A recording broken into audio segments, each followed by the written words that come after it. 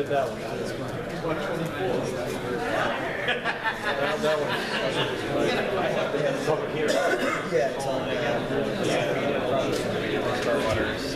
Utilities. In their pencils, not as large. Oh, it's not in that, right up, something like that. They need. Oh, the transportation. yeah. Sometimes they'll tree like. George.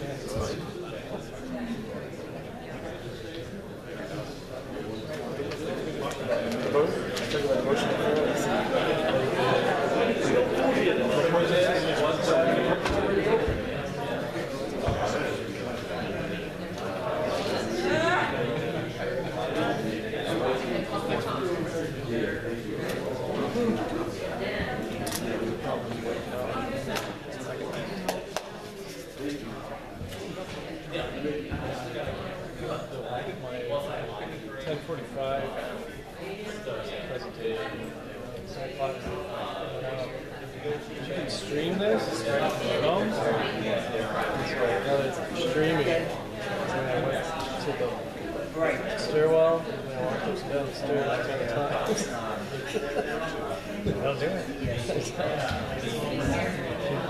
Relay my meal. Fishing game, DES, Some big shark. Hey, Wildlife Heritage We've Bureau. had time to we'll be checking them all. bring us. You gotta make permits. Circle back. 'Cause that's.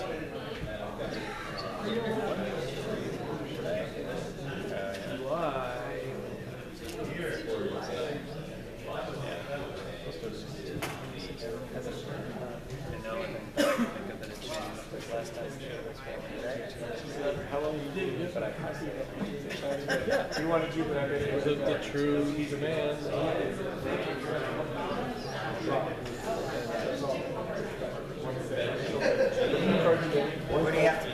Is the- One day one day the other one day stomach, one day the other stomach, and one day that. Yeah, thighs. It's like the thighs. It's like throwing it back.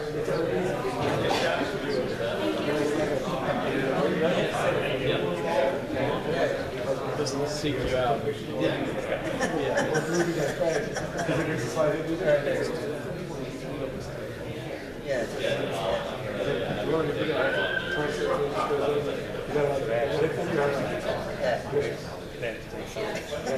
yeah.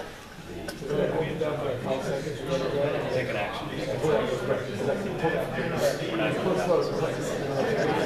I guess it dies. It dies with the cookies. Whatever it takes. Whatever it takes. I don't understand how you go back. Here's like this one ounce of this. Yeah, yeah, yeah, yeah, just, yeah. Things are all. Third reading. You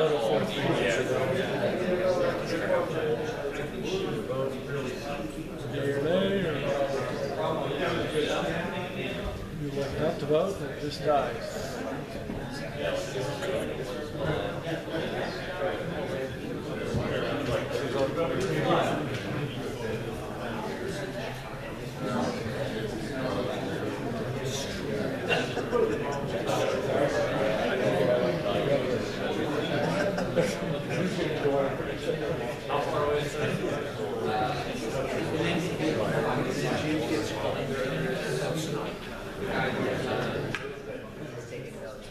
Start by. Start.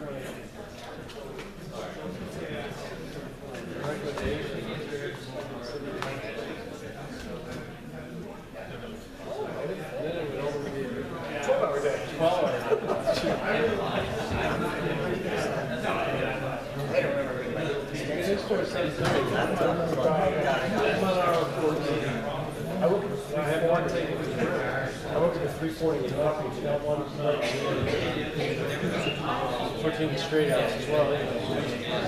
So, I get at my desk and going there. Yeah, it was from 347 to the puppy to the state out. I ran four miles and five miles. The garage. To the garage. Okay, the garage. And then been going ever since. So you go home with that.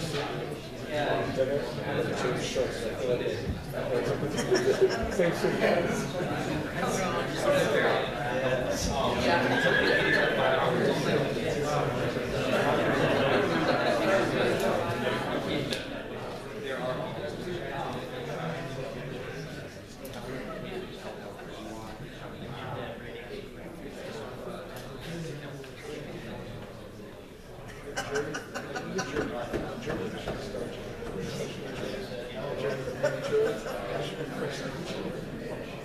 guys.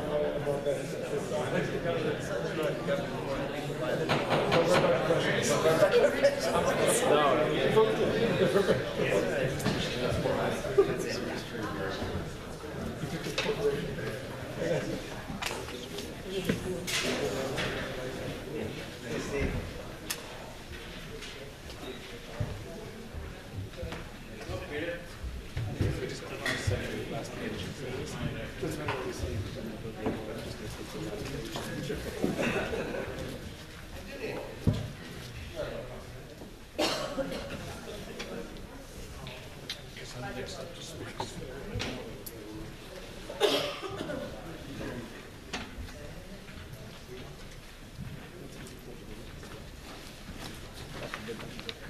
evening, we're back after a brief recess, and uh, we are at the portion of the agenda for public hearings. So we have two public hearings which are open, and um, after I open these, uh, I would ask that anyone who wants to speak on the public hearing, come to the podium, and if you give us your name and address, and uh, speak to the city council.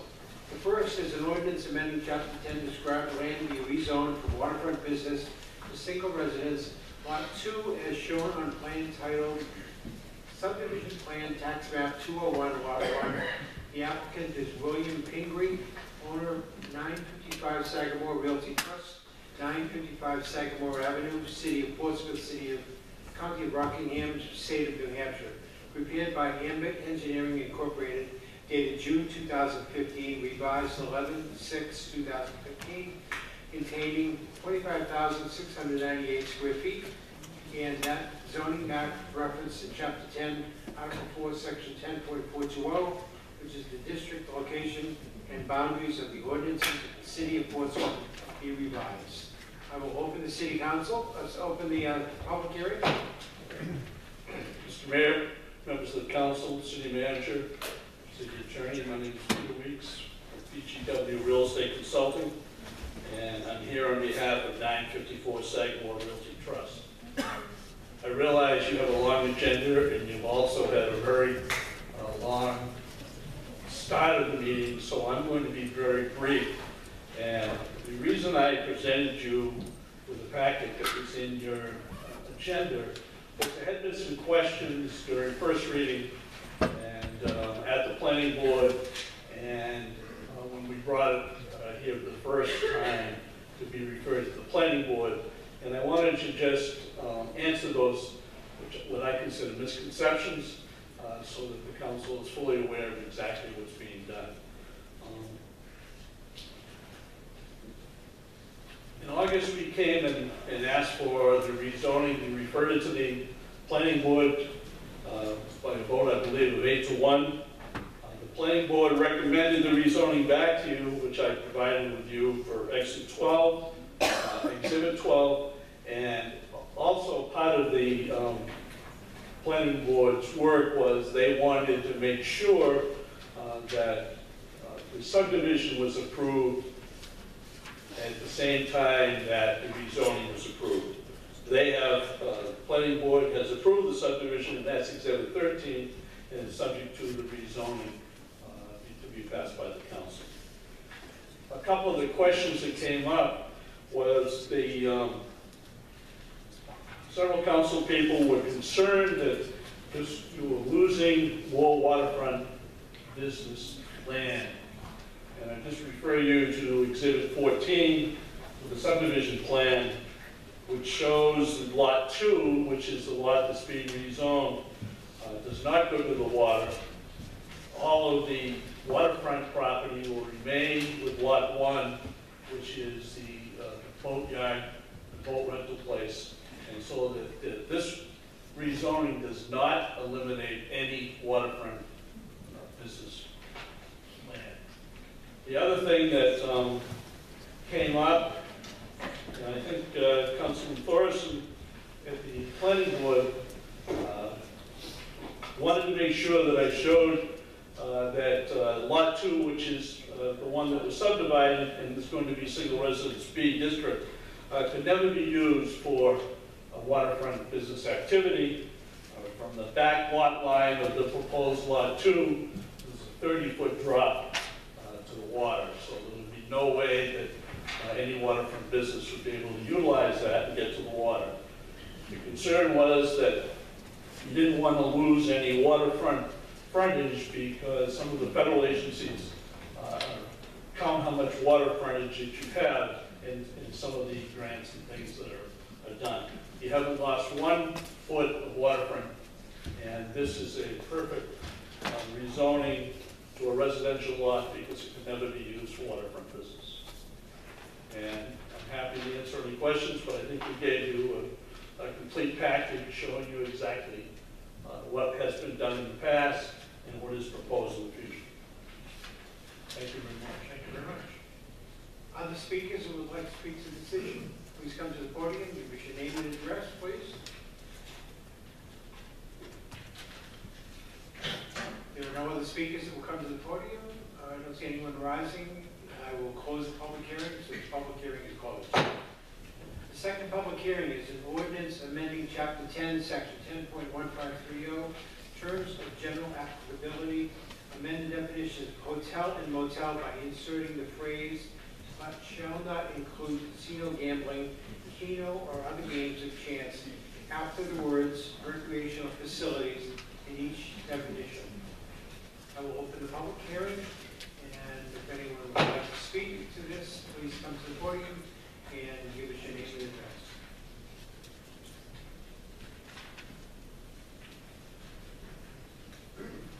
Good evening, Jerry Zelen, 70 Kensington Road, Portsmouth. Um, The reason for this amendment, very simply, is that um, our uh, zoning ordinance currently allows hotels and motels to operate as accessory uses, quote, recreational facilities, unquote, without defining that term. Uh, Combine that with the fact that during the past session, our legislature very- came very close to authorizing casinos at two sites and Keno statewide.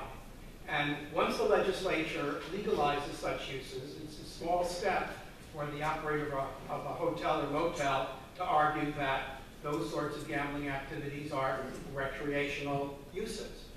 Um, So what I um, was proposing was that we amend the definitions of hotels and motels to make it clear that the term recreational facilities in those definitions did not include casinos, keno, or other games of chance. Now, um, in retrospect, I realize that uh, the term uh, games of chance is not, not defined, as Councilor Dwyer pointed out at the uh, last meeting.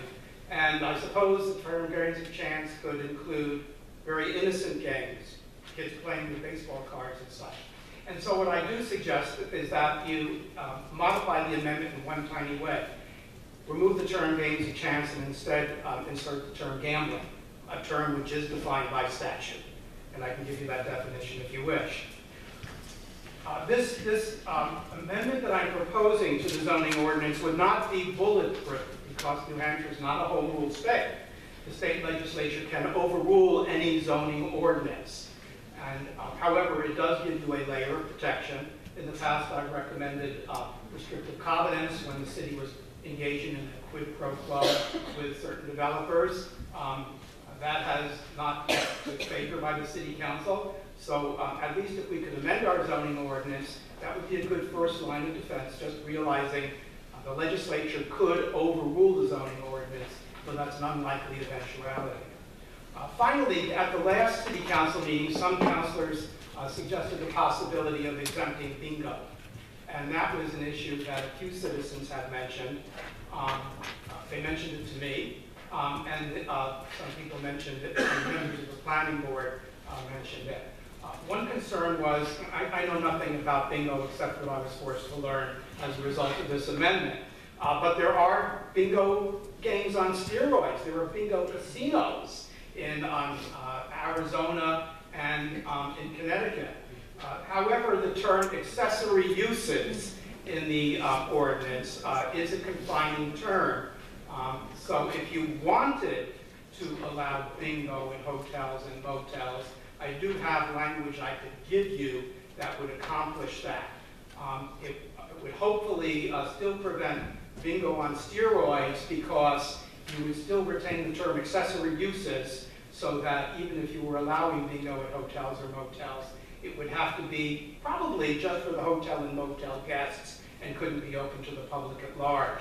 So I will give you a memo that um, uh, just reduces to writing the um, one amendment I was suggesting, replacing uh, games of chance with uh, gambling. And if you um, insist on um, exempting bingo, uh, this memo also includes the language for exempting bingo from the prohibition.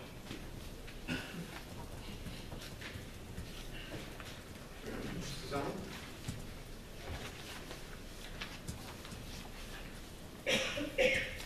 Thank you. That's all I have to say unless anyone has questions of me. Thank you very much. Thank you. Is there anyone else who would like to speak to this public hearing? Mr. Mayor, members of the council, my name is Peter Weiss, I live at 677 Dennis Street, Unit 1, and I rise to speak in favor of the proposal that Mr. Pazella has brought forward, uh, especially in allowing casinos. I don't think Portsmouth needs casinos. Uh, I'm very much in favor of including that in, in the zoning ordinance. Uh, Mr. Zelen had proposed prior on trying to put a covenant on uh, land not allowing casinos. I didn't favor that because I thought that was uh, not something that we should try to control somebody's property. But they know they're gonna build a hotel, they know they can't have a casino, and I would certainly support that. Anyone else like to speak to this public hearing? Not seeing anyone else rise, close the public hearing. Thank you. Next, we have approval of grants and donations versus acceptance of a donation from Annette Roylos for lights on the Market Square Christmas tree, two hundred dollars. So moved. For a second, Second. All in favor say aye. Aye. Opposed? Thank you. Thank you for the donation for the Christmas tree as well. Acceptance uh, next of grant from New Hampshire Division of Historical Resources, forty-five thousand, seven hundred twenty-five dollars. So, Second. favor, say aye, please. Aye. Okay, thank you. Uh, Consideration of resolutions and ordinances.